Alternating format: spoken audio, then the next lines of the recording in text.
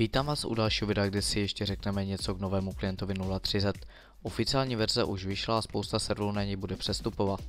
Nejznámější server Superpařba na něj přestoupí 16.2.2014 v 00 hodin. Není se čeho obávat, do rána by měl být server plně funkční, alespoň doufám. Vaše nahrané skoro by mělo být zachováno jako vždy. Návod jak nainstalovat nového klienta máte zde na webu Superpařba nebo na naší webové stránce nábou její klient ke stažení. Pokud nevíte, co nový klient nabízí, doporučuji se podívat na naše video Nový klient 030 a pokud chcete vidět, jak takové přestoupení vypadá, podívejte se na naše prastaré video s mým dětským láskem a s bývalým členem Grizzlym.